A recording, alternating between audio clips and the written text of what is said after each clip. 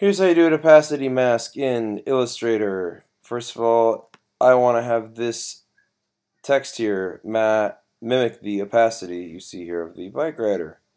So all you do is you draw a solid object over that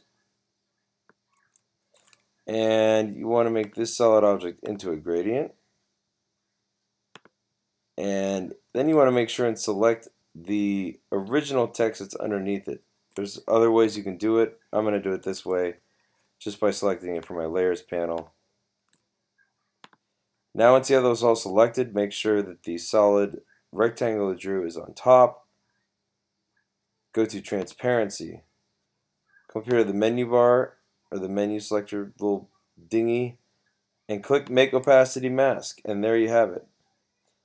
And if you want to adjust the gradient, make sure you're back up here in your transparency.